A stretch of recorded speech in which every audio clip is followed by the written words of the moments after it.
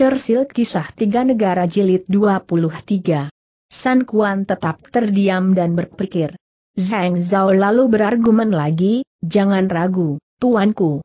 Menyerah pada Cao Cao artinya membawa kedamaian pada rakyat daerah selatan dan keamanan bagi keenam wilayah. San Kuan masih tetap terdiam. Palanya tertunduk berpikir dengan serius. Kemudian dia berdiri dan berjalan pelan sekali menuju pintu dan Lusu mengikutinya. Di depan pintu dia memegang tangan Lusu dan berkata, apa yang kau inginkan? Apa yang mereka katakan sangatlah menyepelekanmu, orang biasa boleh menyerah, tetapi kau tidak tuanku. Kenapa? Dapatkah kau jelaskan kepadaku, pinta San Kuan?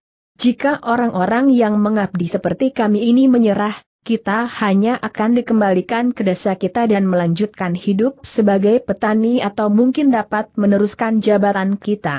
Segalanya akan berjalan seperti biasanya. Jika orang seperti kau yang menyerah, ke manakah kau akan pergi? Kau akan diangkat sebagai penguasa daerah yang jauh mungkin. Kau akan memiliki satu kereta kuda, tidak lebih. Atau hanya satu sadel kuda saja dan tidak lebih penghasilanmu tidak akan lebih dari satu slash sepuluh pajak. Apakah setelah itu kau masih dapat lagi memandang ke selatan dan menyebut dirimu dengan sebagai seorang raja?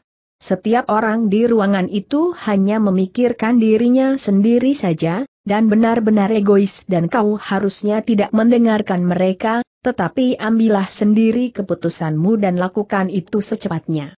Kita akan bermain permainan berbahaya tetapi patut dicoba. San Kuan menghela napas, mereka semua hanya dapat berbicara dan berbicara saja. Mereka tidak memandang dari sudut pandangku. Sekarang kau telah berkata mengenai hal ini dan pandanganmu sama dengan pandanganku. Tentu langit telah memberi petunjuk padaku melalui dirimu. Tetapi Cao Cao sekarang lebih kuat daripada Yuan Shao dan Liu Biao, dan juga dia telah memiliki Jing Zhou. Aku takut dia telah terlalu kuat untuk kita hadapi. Aku telah membawa Zhuge Liang kemari, dia adalah adik dari Zhuge Jin. Jika kau bertanya pada dia, dia akan menjelaskan secara lengkap mengenai keadaan pasukan Cao Cao. Apakah Guru Naga benar-benar berada di sini? Benar dia ada di sini, di rumah tamu. Sekarang sudah terlalu malam untuk menemuinya tetapi esok hari aku akan mengumpulkan para pejabat dan kau akan memperkenalkan dia kepada orang-orang terbaikku. Setelah itu kita akan berdebat mengenai masalah ini. Dengan perintah ini Lusu kemudian pergi. Keesokan harinya dia pergi ke rumah tamu dan melaksanakan perintah Sangkuan, dia berkata, ketika kau bertemu tuanku, jangan katakan apa pun mengenai kekuatan sebenarnya dari pasukan Cao Cao. Zhuge Liang tersenyum dan berkata, aku akan bertindak sesuai dengan keadaan. Kau tenang saja, aku tidak akan berbuat kesalahan. Zhuge Liang lalu dibawa menemui ke tempat di mana para pejabat tinggi, sipil maupun militer yang berjumlah 40 orang lebih sedang berkumpul. Mereka membentuk barisan yang disesuaikan dengan jabatan dan senioritas. Zhang Zhao duduk di barisan paling depan dan Zhuge Liang memberi salam padanya. Lalu satu demi satu dari mereka saling memberi salam dan memperkenalkan diri pada Zhuge Liang. Setelah ini semua selesai, Zhuge Liang duduk di kursi yang disediakan bagi tamu. Mereka semua sangat terkesan dengan sikap Zhuge Liang yang elegan dan karisma yang memancar dari dirinya. Mereka semua berpikir, inilah dia seorang penghasut yang akan mengarahkanmu berperang di GNHI. Zhang Zhao lalu membuka pembicaraan untuk mengumpan Zhuge Liang, dia berkata, kau harus maklum pada para pejabat-pejabat kami yang tidak terkenal ini dan diriku sendiri juga. Karena jika tidak salah kau membandingkan dirimu dengan dua orang hebat dari masa lampau, Guan Zhong dan Yue Yi. Apakah hal ini benar? Sampai batas dua tertentu aku dapat dibandingkan dengan mereka, jawab Zhuge Liang. Aku mendengar Liu Beis mengunjungimu tiga kali ketika kau hidup di dalam pengasingamu di lembah naga tidur dan ketika kau setuju untuk melayaninya, dia berkata bahwa dia beruntung seperti ikan yang kembali ke dalam lautan. Lalu dia ingin mendapatkan daerah Jingzhou. Tetapi hari ini daerah itu menjadi milik Cao Cao. Aku berniat mendengar penjelasanmu mengenai hal itu. Zugel yang berpikir, Zhang Zhao ini adalah penasehat utama Sang Kuan. Jika dia tidak bisa mengunggulinya, maka tidak mungkin akan dapat mengerahkan Sang Kuan.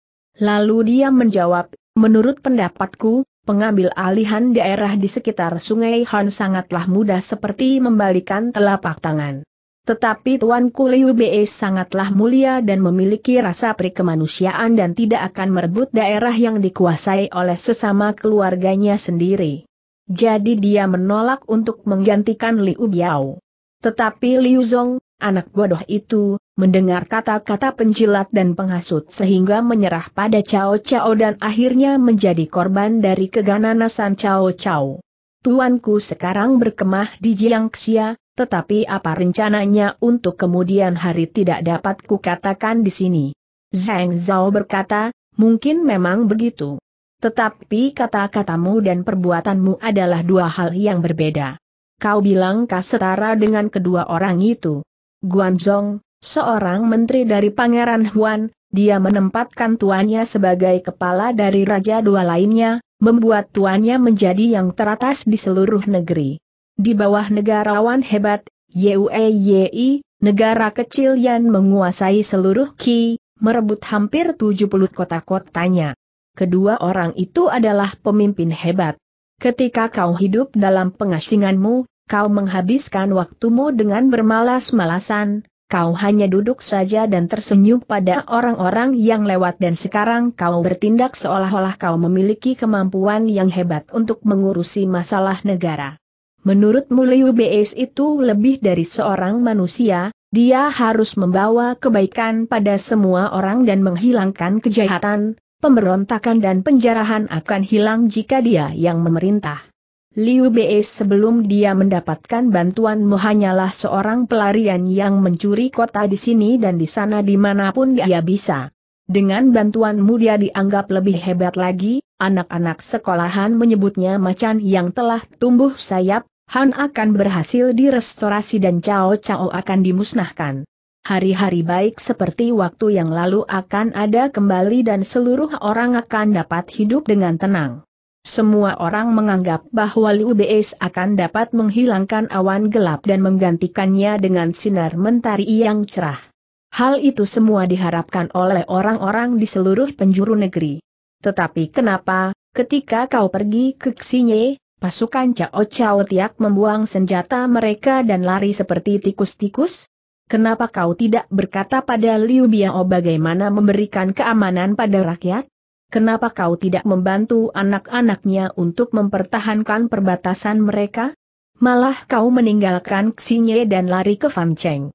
Kau dikalahkan di Dangyang dan lari ke Xiakou serta tidak ada tempat untuk beristirahat, setelah kau ikut Liu Beis malah kurasa keadaannya menjadi lebih buruk dari sebelumnya.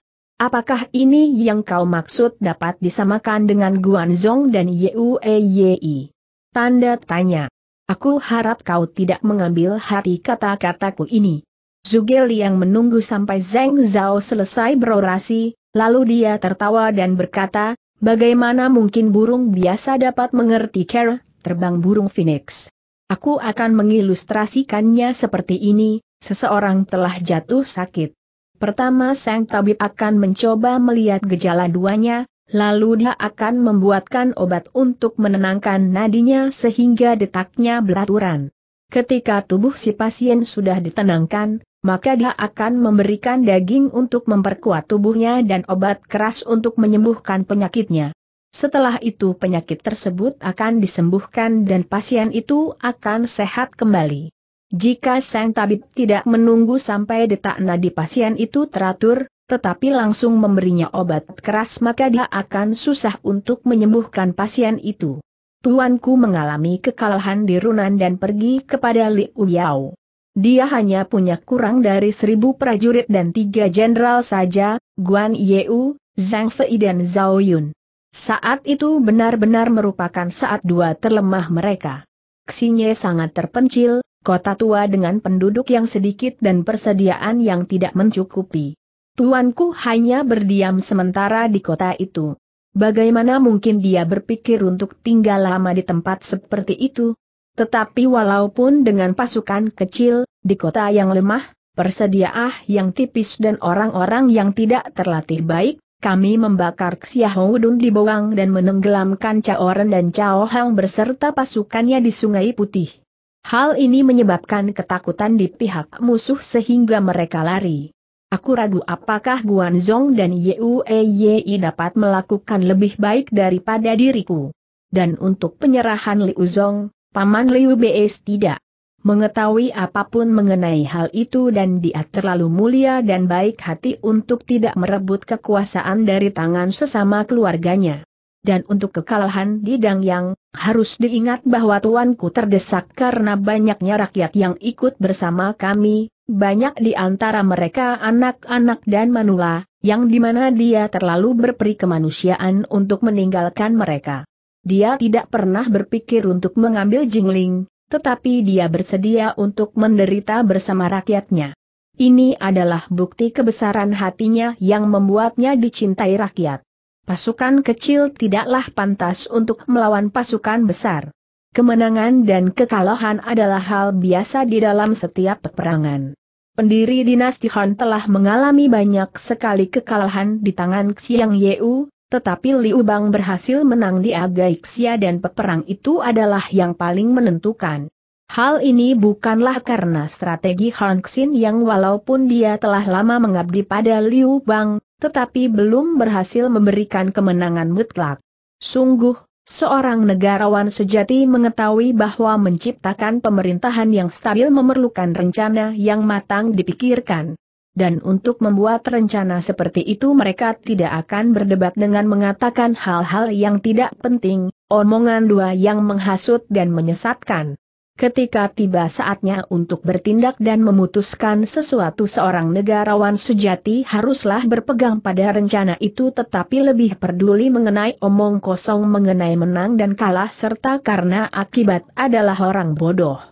Mereka yang mengaku negarawan tetapi tidak dapat mengerti hal ini benar-benar merupakan bahan tertawaan di dunia.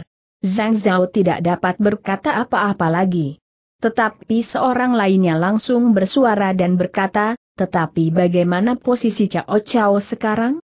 Dia berkemah dengan ribuan legiun tentara dan ribuan pemimpin hebat. Dia seperti naga yang berada di angaksa, seperti macan buas yang mengaum. Sepertinya dia sudah akan merebut Jiang Xia. Pembicara itu adalah Ye Ufan. Dan Zugeli yang berkata, Cao Cao telah mendapatkan pasukan Yuan Shao dan mencuri pasukan Liu Biao. Tetapi aku tidak khawatir sedikit pun mengenai hal itu.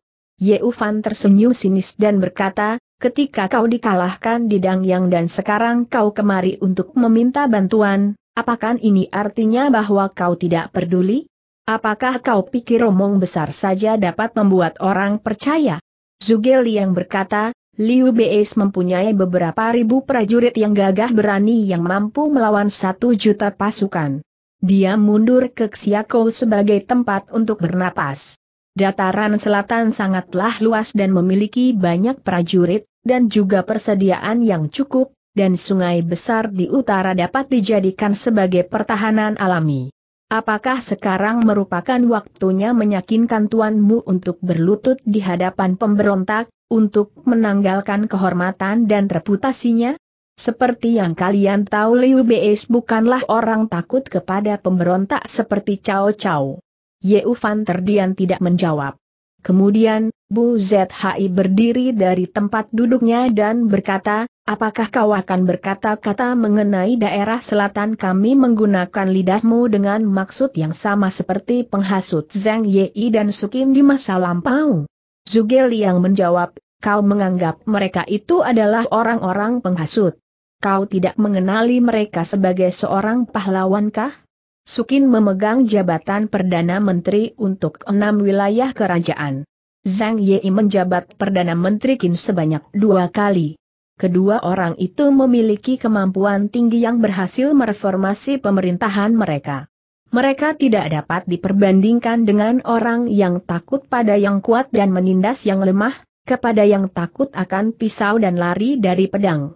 Kau, Tuan, telah mendengarkan ancaman kosong dan licik dari Cao Cao dan hal itu telah membuatmu sedemikian takutnya dan menasehati untuk menyerah.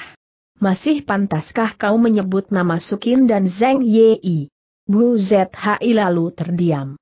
Lalu tiba-tiba datang lagi pertanyaan, apa yang kau pikirkan mengenai Cao Cao kali ini Xue Zong yang bertanya. Dan Zugeli yang menjawab, Cao Cao adalah salah satu pemberontak yang melawan dinasti. Kenapa kau bertanya mengenai dia? Kau salah, kata Xue Zong, dinasti Han telah habis masanya dan akhirnya telah dekat. Cao Cao telah merebut dua tiga wilayah kekaisaran dan rakyat berpaling kepadanya. Tuanmu tidak mengenai saat dua menentukan ini dan mencoba melawan orang sekuat itu adalah seperti menghancurkan batu dengan telur. Kekalahan sudah dapat dipastikan. Zugel yang dengan marah menjawab, kenapa kau berbicara kata-kata yang tidak bertanggung jawab seperti itu, seperti kau tidak mengenal apa yang disebut tayah dan kasar? Kesetiaan dan balas budi adalah hal yang utama dari diri seseorang. Bagi seorang Menteri Han, perlakuan yang benar menuntut dirinya untuk bersumpah menghancurkan siapa saja yang tidak mengikuti tugas-tugas yang seharusnya dilakukan oleh Menteri. Leluhur Cao Cao menikmati kekayaan dari dinasti ini, tetapi bukannya menunjukkan rasa terima kasihnya, dia malah memberontak. Seluruh dunia menghujat dirinya, tetapi kau malah menyebutnya dia mengikuti takdir. Benar-benar kau adalah orang yang tidak mengetahui ayahmu dan kaisarmu, seseorang yang tidak pantas berbicara apa pun, dan aku menolak untuk melanjutkan berargumen dengan orang sepertimu. Wajah Xue Zong menjadi merah karena malu dan dia tidak berkata apa-apa lagi. Tetapi yang lainnya, Lu Ji, ikut di dalam perseteruan itu dan berkata, walaupun Cao Cao membayang-bayangi kaisar dan namanya memalukan para bangsawan, tetapi dia adalah keturunan dari Perdana Menteri Chaosen. Sementara tuanmu walaupun dikatakan bahwa dia adalah keturunan pangeran, tidak mempunyai bukti mengenai hal itu. Di mata dunia, Liu Beis hanyalah seorang penganyam jerami dan penjual sendal. Siapakan dia berani melawan Cao Cao? Zugel yang tertawa dan membalasnya, apakah kau Luji yang mencuri buah jeruk ketika kau duduk di antara tamunya Yuan Su? Dengarkan aku, aku punya kata yang harus kukatakan padamu. Kau Chao memang benar merupakan keturunan Perdana Menteri Chao Sen, dia berdasarkan keturunan merupakan pelayan dari dinasti Han, tetapi dia sekarang memonopoli kekuasaan pemerintah dan kekuasaan dipegang seluruhnya oleh dirinya. Dia melangkai setiap wewenang tuannya. Tidak hanya dia melupakan siapa tuannya tetapi dia juga melupakan siapa leluhurnya. Tidak saja dia adalah pemberontak dinasti Han, tetap juga merupakan aib bagi keluarganya. Liu Beis dari Ye Uzhou adalah keturunan mulia dari keluarga kekaisaran yang di mana kaisar telah mengakuinya sebagai paman seperti yang tercatat dalam sejarah keluarga kekaisaran. Bagaimana mungkin kau dapat berkata bahwa tidak ada bukti bahwa dia keturunan kekaisaran? Lagi pula, Pendiri dinasti Han pada mulanya juga berasal dari derajat yang rendah tetapi akhirnya dia menjadi kasiar. Di mana malunya harus menganyam jerami dan menjual sepatu? Maksud duamu, padangan kurang dewasamu tidak pantas untuk diungkapkan di hadapan para orang-orang terpelajari yang berdiri di sini. Hal ini membuat Luji tidak dapat berkata apa-apa lagi. Tetapi seorang lainnya lagi berkata, kata Zugeli yang sangatlah berlebihan dan dia menyesatkan maksud dari pembicaraan ini. Yang dikatakannya bukanlah argumen yang semestinya dan dia lebih baik tidak usah berkata apa-apa lagi. Tetapi aku ingin bertanya pada dia, buku-buku klasik apa saja yang dia telah pelajari? Zugel yang melihat pada orang itu, yang ternyata adalah Yan Jun dan berkata, apa gunanya buku-buku itu? Apakah buku-buku itu dapat menjalankan kebijakan negara atau mengatur pemerintahan? Yin yang merupakan petani di negara Sen, Luwang seorang nelayan di sungai Wei, Zhang Liang dan Chen Ping, Zheng Yeu dan Geng Yan, semua adalah orang-orang dengan kemampuan luar biasa, tetapi aku tidak pernah mengetahui buku-buku apa saja yang pernah mereka baca.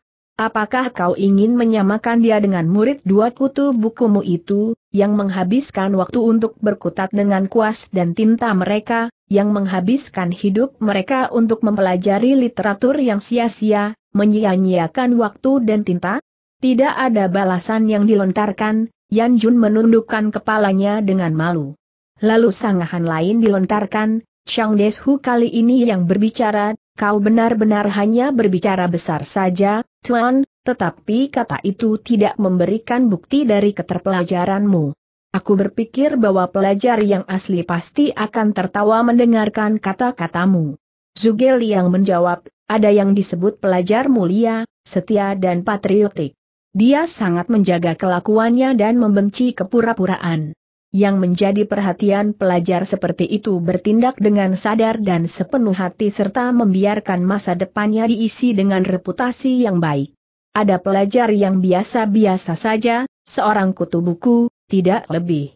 Setiap hari hanya berteman dengan penanya saja, di masa mudanya dan menyusun ode dan di masa tuanya berusaha mengerti isi buku-buku klasik sepenuhnya. Ribuan kata telah dituliskan dari penanya, tetapi tidak ada suatu ide yang gemilang di pikirannya. Dia mungkin, seperti yang Siong, yang memasyurkan masanya dengan tulisan akan tetapi berhenti untuk melayani tiran seperti Wang Mang. Aku tidak heran yang Siong meloncat dari jendela. Itu adalah jalan dari pelajar biasa-biasa saja. Walaupun dia membuat ratusan ode, tetapi apa gunanya itu bagi dia? Chang Deshu tidak menjawab. Para pejabat yang lain sekarang mulai merasa ketakutan atas kehebatan Zugeli yang dalam berdebat.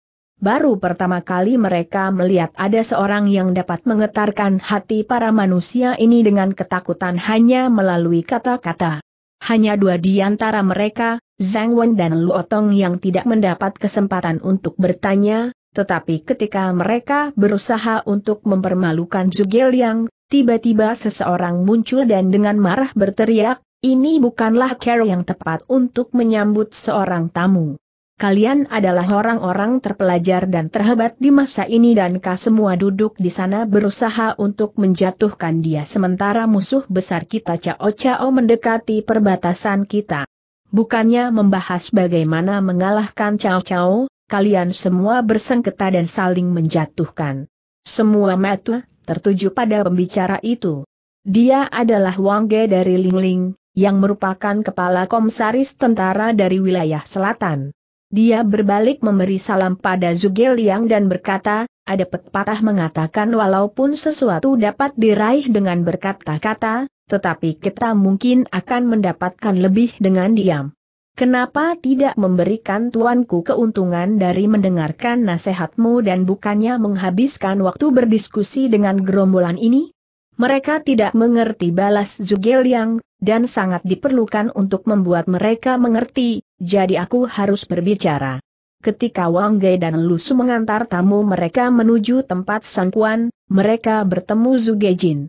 Zugeliang memberi salam padanya selayaknya adik kepada kakaknya. Zugijin berkata, kenapa kau belum menemuiku, adik? Aku sekarang bekerja pada Liu BS dari Yeuzhou dan adalah tepat untuk mendahulukan kepentingan publik dibandingkan kewajiban pribadi. Aku tidak dapat menghadiri urusan pribadi sampai tugasku selesai. Kau harus memaafkanku, kakak. Setelah kau menemui Tuan Sangkuan, datanglah kepadaku dan ceritakan mengenai kabar di rumah, kata dia segera berpamitan. Ketika mereka melintasi ruang audiensi, Lusu sekali lagi meminta Zugeliang untuk tidak berbicara terus terang, jangan katakan besarnya pasukan Cao Cao. Aku mohon ingatlah itu. Zugeliang hanya mengangguk saja tidak menjawab. Ketika mereka sampai di aula besar, San Quan datang menuruni tangga untuk menyambut tamunya dan bersikap sungguh baik. Setelah bersalaman dan memperkenalkan diri, Zugel yang dipersilahkan duduk sementara para pejabat sangkuan berbaris menjadi dua sisi, di satu sisi pejabat sipil dan di lain sisi pejabat militer. Lusu berdiri di samping Zugel Yang. Lalu Zugel Yang berbicara mengenai niat Liu Beis, dia menatap pada sangkuan. Dia melihat sangkuan memiliki warna mata biru kehijauan dan janggut berwarna ungu kemerahan. Aura kepemimpinan meliputi seluruh badannya, dapat dipastikan dari penampilannya bahwa dia bukanlah orang biasa. Dia mungkin dapat dikejutkan tetapi tidak dapat dibujuk. Akan lebih baik mendengarkan apa yang dibicarakannya terlebih dahulu, lalu akan mengarahkan tindakannya, pikir Zugel yang. Lusu sering membicarakan kejeniusanmu, kata tuan rumahnya, sungguh suatu hal yang menyenangkan untuk bertemu denganmu. Aku percaya kau akan memberikanku nasihatmu yang berharga itu. Aku tidaklah pintar ataupun terpelajar, jawabnya, sangat memalukanku untuk mendengar kata-kata seperti itu. Kau telah berada di sini akhir dua ini dan kau membantu tuanmu untuk melewati perang yang sangat menentukan dengan Cao Cao, kau pasti mengetahui berapa besar kekuatan militernya. Pasukan tuanku sangatlah kecil dan jenderalnya hanya sedikit pertahanan kota sungguh lemah dan tidak ada persediaan mencukupi. Karena itu tidak ada pertahanan yang dapat dibuat untuk melawan pasukan sebesar pasukan yang dipunyai Cao Cao. Berapa banyakkah yang dia punya?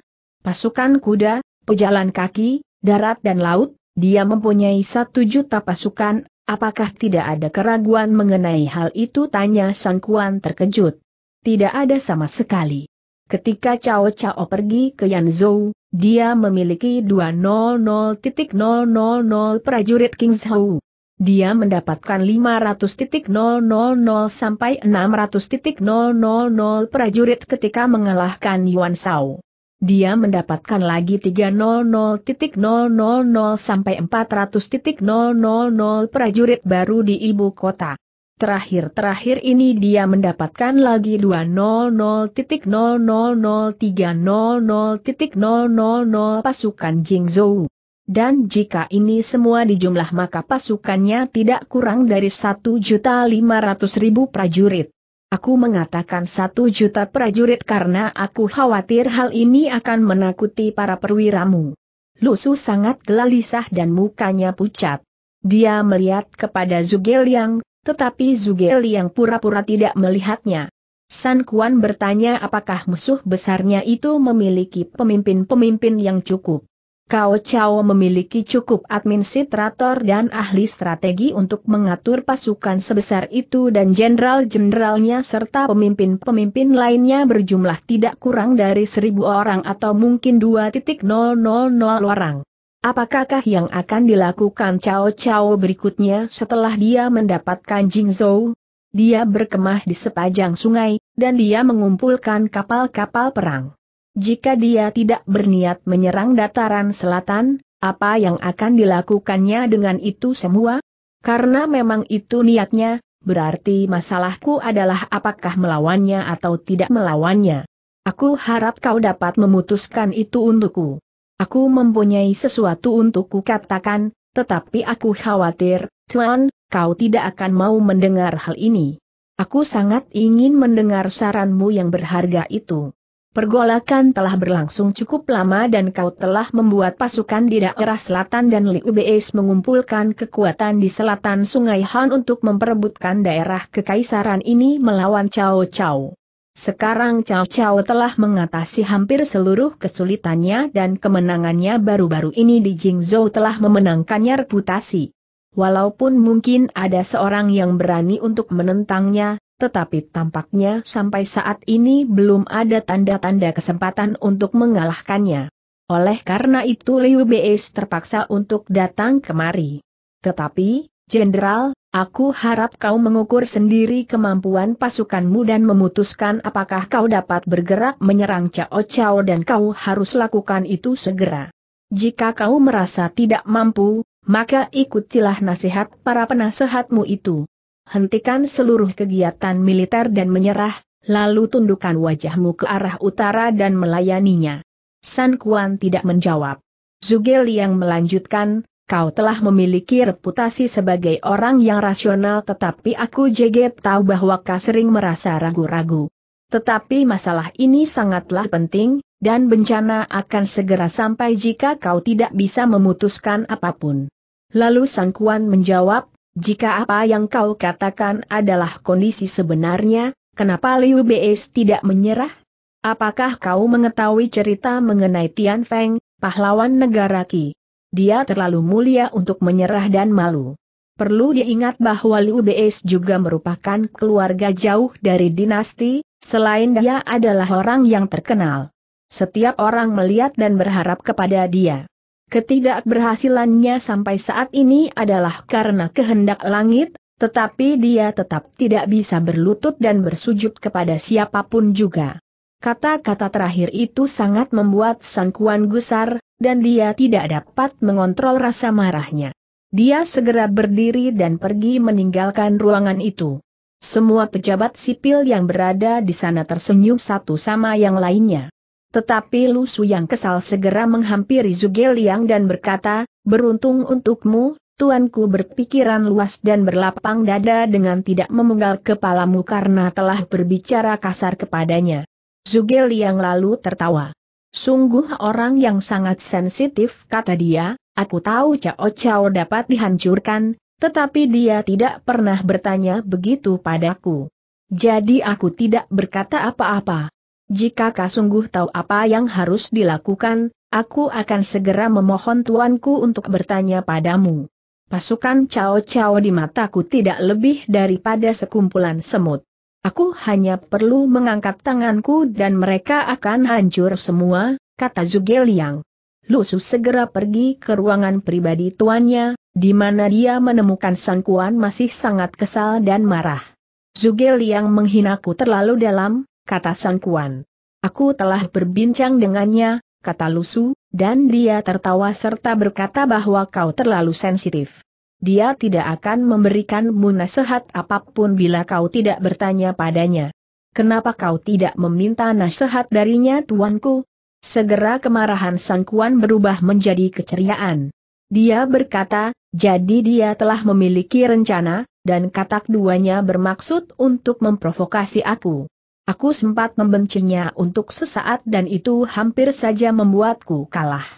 Lalu Sang Kuan kembali ke aula di mana tamunya masih duduk dan meminta Zugel yang untuk melanjutkan yang ingin dikatakannya. San Kuan berkata, aku menyinggungmu barusan. Aku harap kau tidak masukkan dalam hati, dan aku juga sungguh kasar, jawab Zugel yang, aku memohon ampunanmu. Cuan rumah dan tamunya itu pergi ke ruangan dalam di mana arak telah disajikan.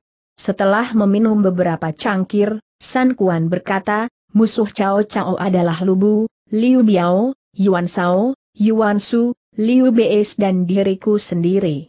Sekarang kebanyakan dari orang-orang ini telah tiada dan hanya tinggal aku dan Liu Beis yang tersisa.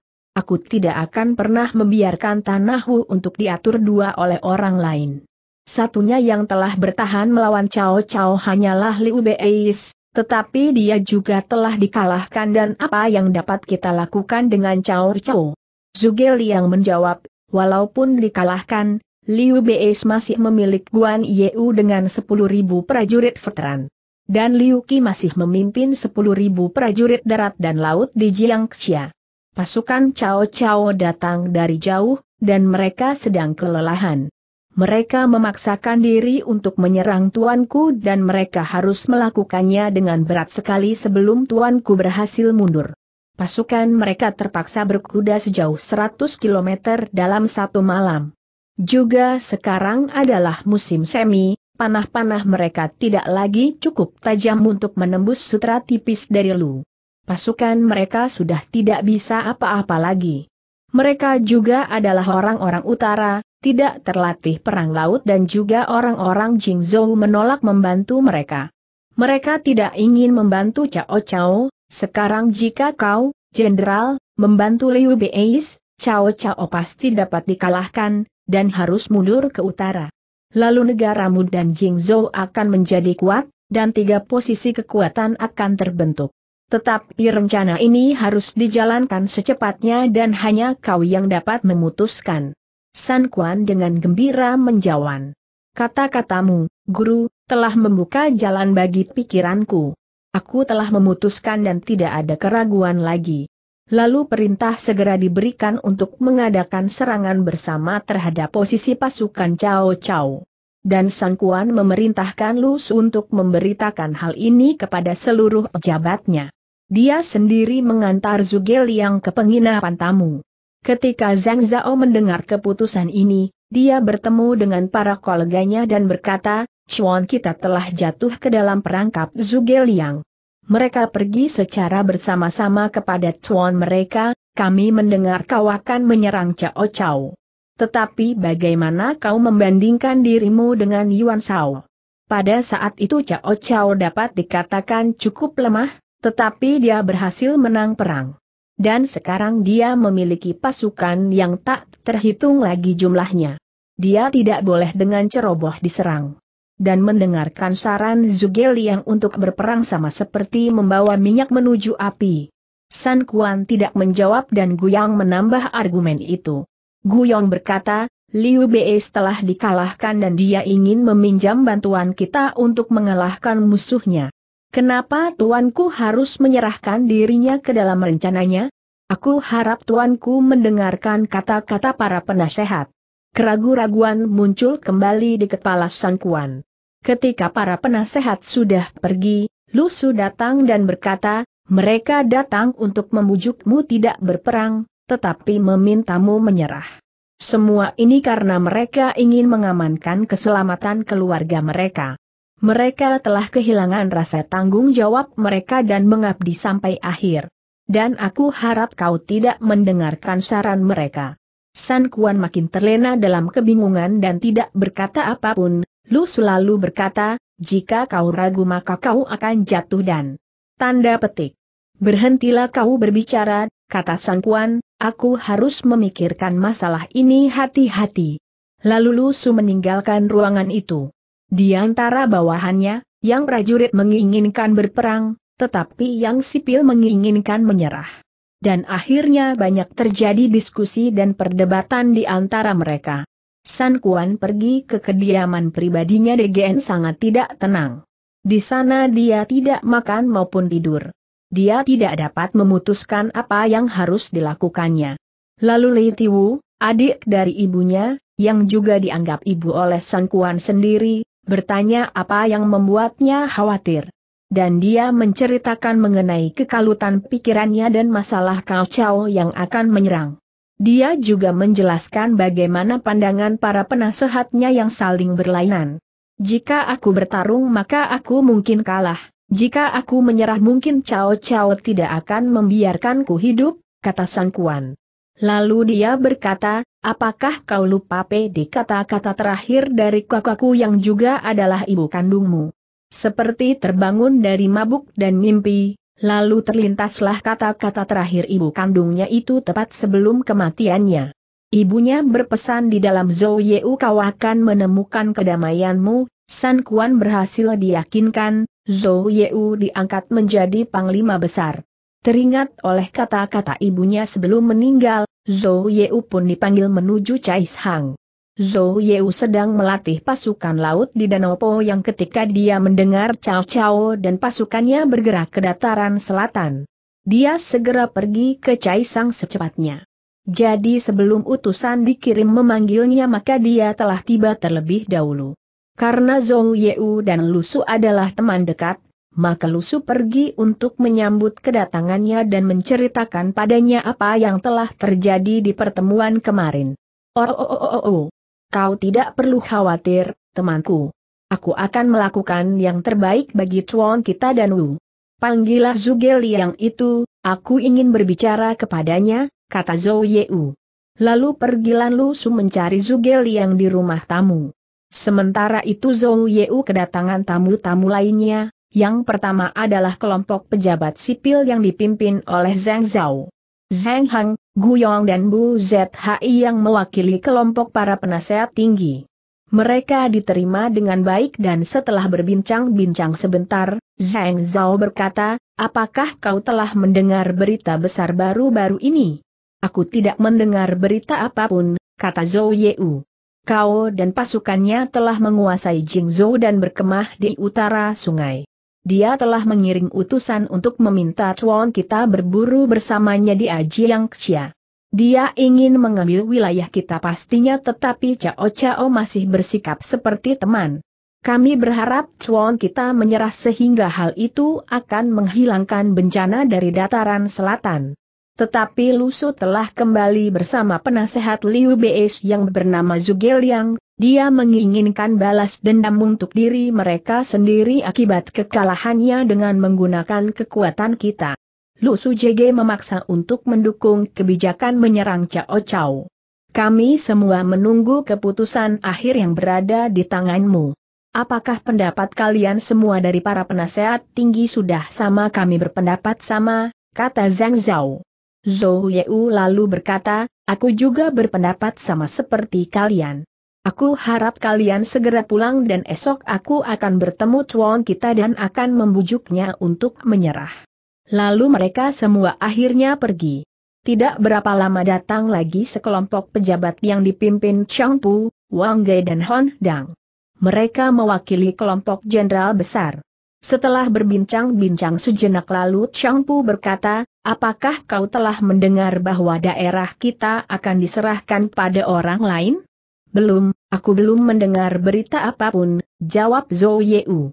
Kami membantu Jenderal Sanjian dan Sanche untuk mendapatkan daerah dua ini dan mulai menyiapkan pondasi untuk sebuah kerajaan dan untuk mendapatkan hal itu kami berperang dalam berbagai pertempuran sebelum akhirnya bisa memenangkan keenam daerah Wu dan Yue. Sekarang Tuan kita mendengarkan nasihat para pejabat sipil yang ingin menyerah pada Cao Cao.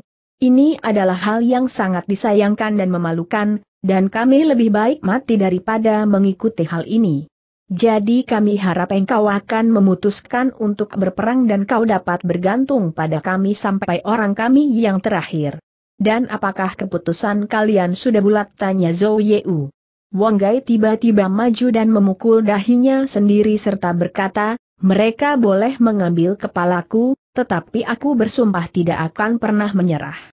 Tidak ada dari kamu yang akan menyerah teriak yang lainnya. Aku juga berpendapat kita tidak menyerah dan melawan Cao Cao.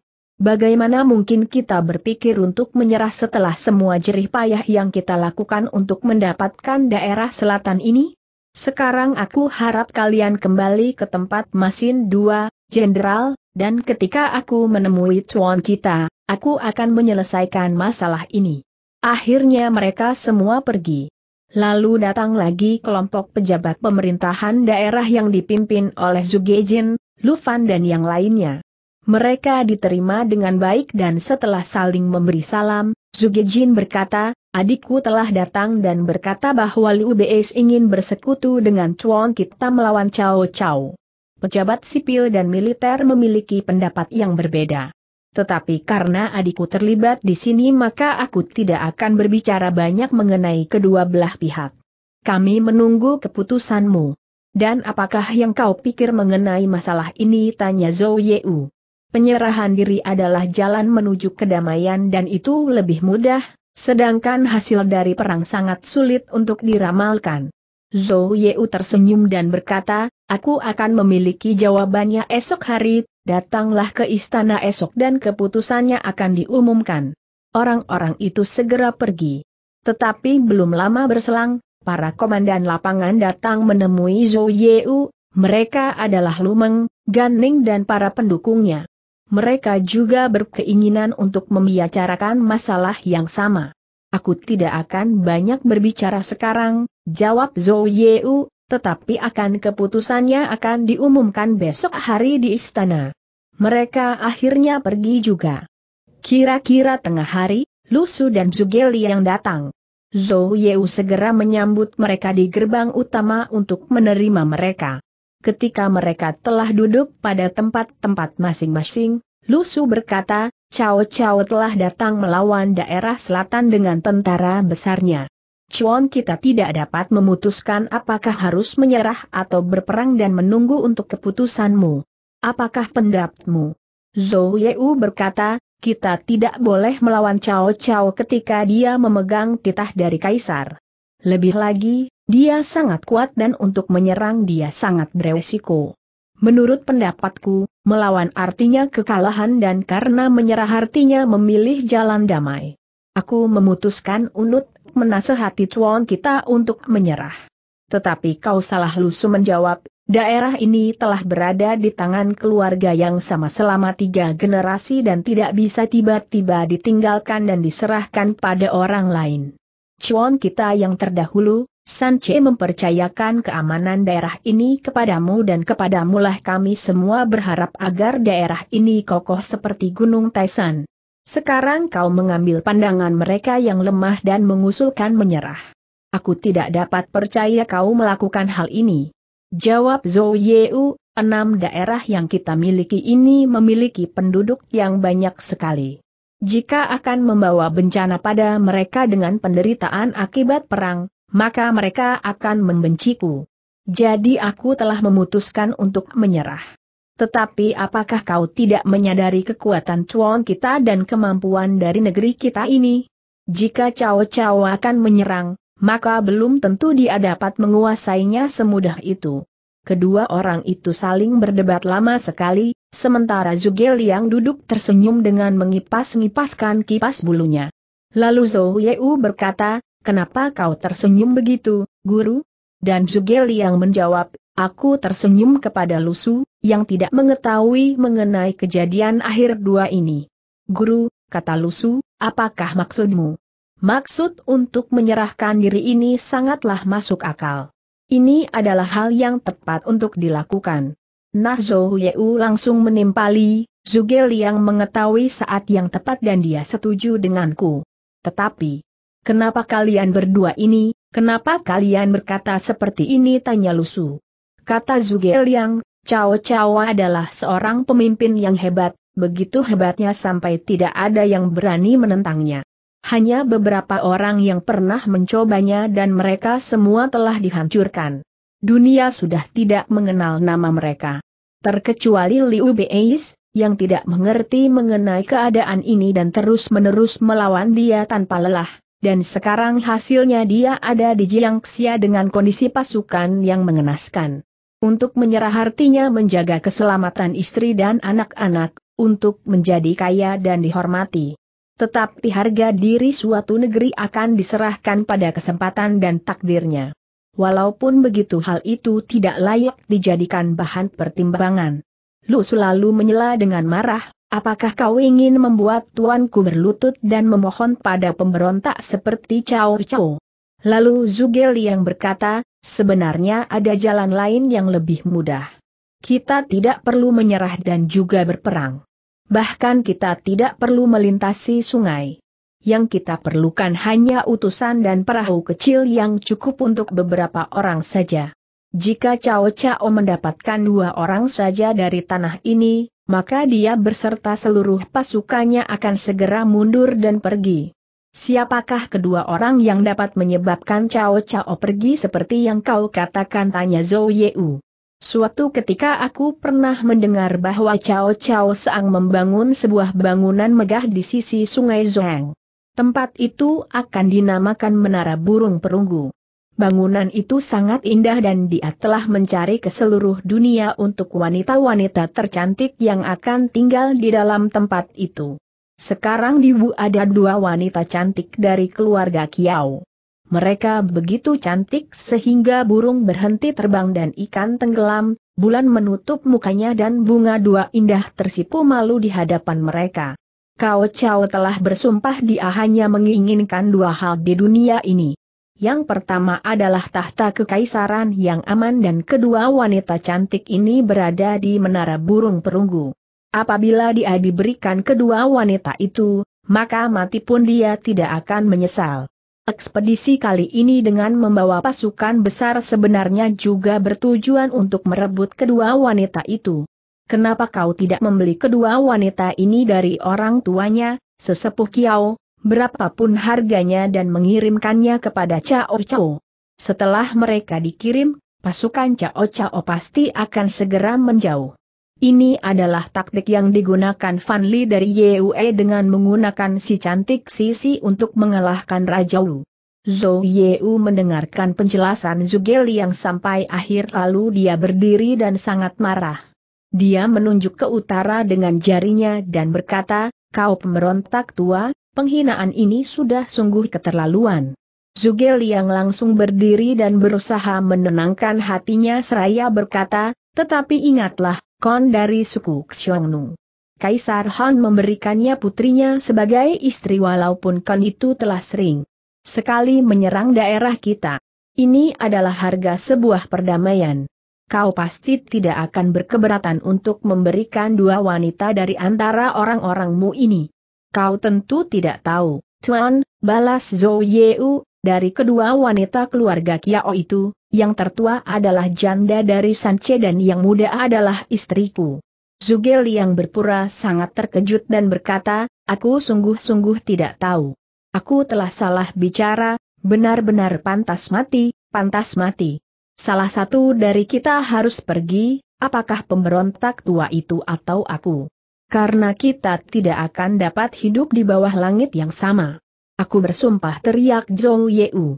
Tetapi, hal seperti ini memerlukan pertimbangan yang matang, kata Zhuge Liang, kita tidak boleh membuat kesalahan. Zhou Yeu berkata, aku telah menerima kepercayaan dari tuanku yang lalu, San Che. Aku tidak akan berlutut kepada Cao Cao.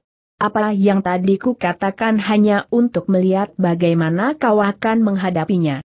Aku meninggalkan Po yang dengan tujuan menyerang utara. Dan tidak ada suatu apa pun yang dapat mengubah pendirianku, tidak juga pedang di badanku atau kampak di leherku. Tetapi aku percaya kau akan membantuku dan kita akan menyerang Cao Cao bersama-sama. Aku sangat senang dan tidak akan menolak ajakanmu, aku akan memberikan kemampuanku yang tidak seberapa ini selama aku bisa. Mungkin, aku akan dapat memberikanmu sebuah rencana untuk melawan dia. Aku akan pergi menemui tuanku esok hari untuk membicarakan masalah ini, kata Zhou Yeu. Zhuge Liang dan Lu selalu berpamitan. Keesokan harinya, San Kuan mengadakan pertemuan di mana semua bawahannya, baik sipil, militer, pejabat daerah dan komandan lapangan semua ada di sana.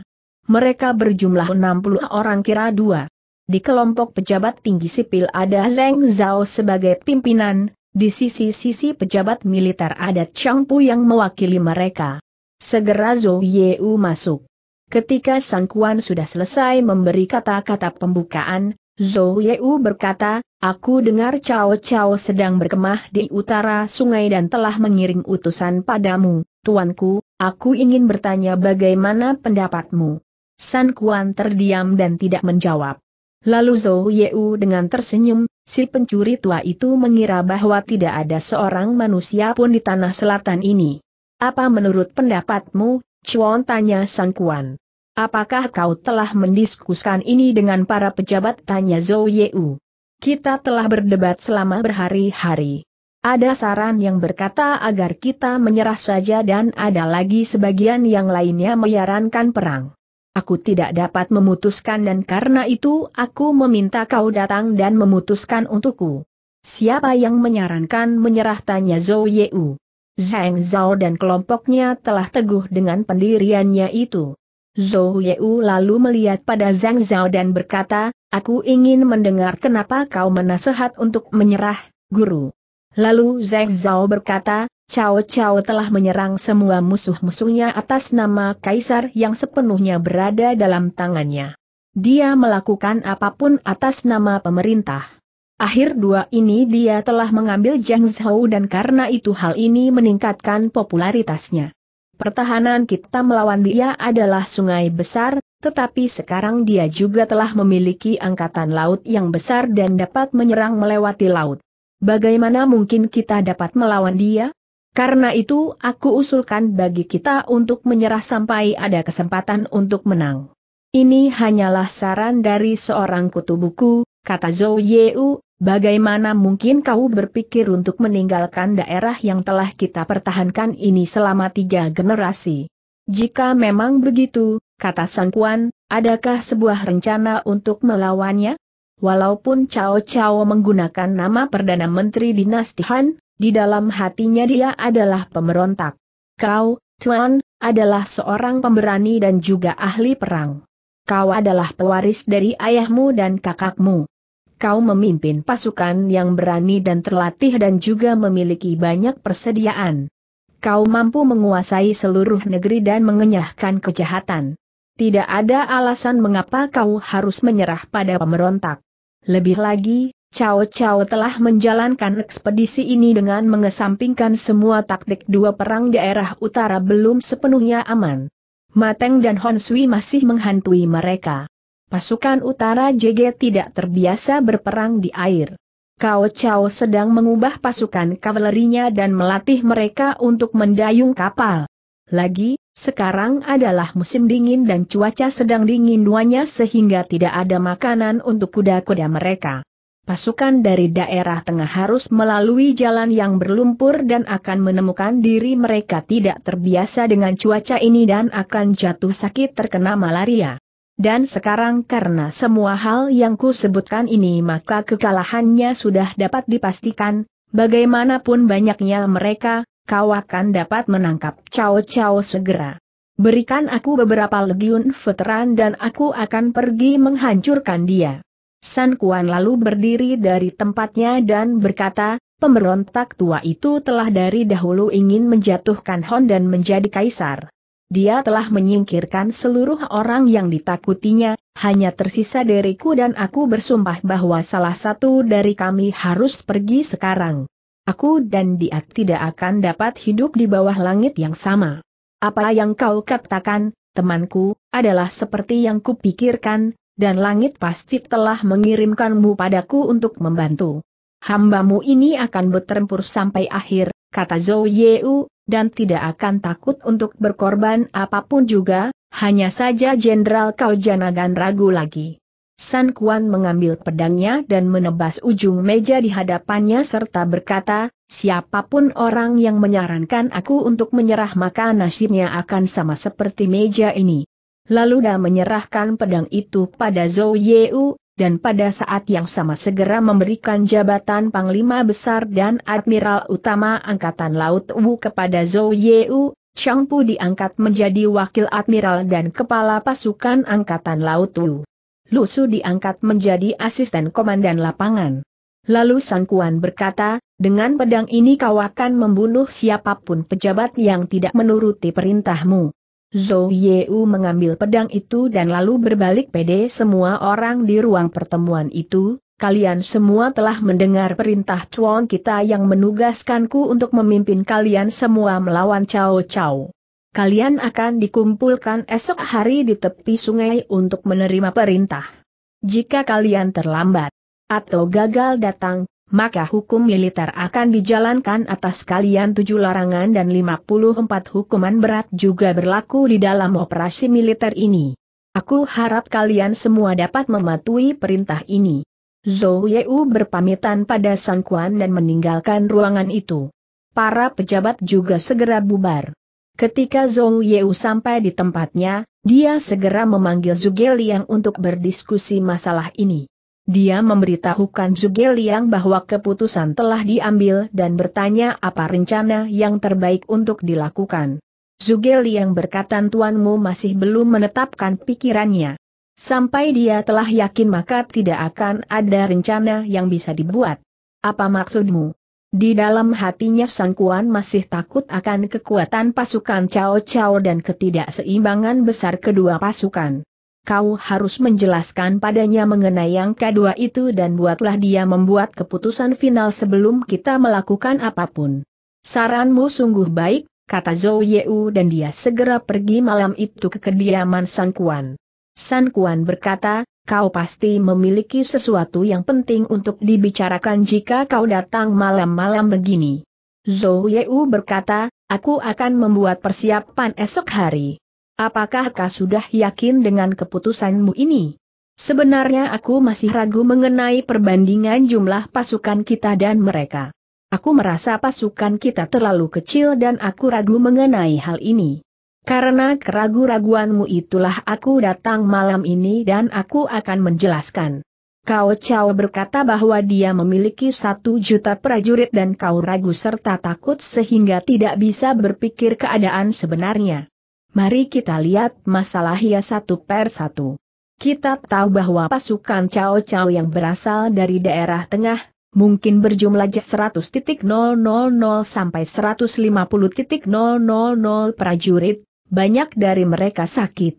Dia hanya mempunyai 70.000 sampai 80.000 prajurit dari utara dan banyak dari mereka sudah kelelahan.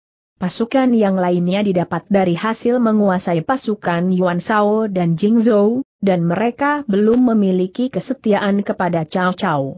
Ditambah lagi mereka semua tidak terbiasa perang di air. Walaupun tampaknya pasukan mereka besar tetapi tidaklah menakutkan. Aku dapat menghancurkan mereka dengan 50 ribu prajurit saja. Kau, tuanku tidak perlu khawatir. Tanda petik. San Kuan berkata, kau telah menjelaskan kesulitanku dan menghilangkan keraguanku. Zhang Zhao adalah orang bodoh yang selalu menghalang-halangi ekspedisiku.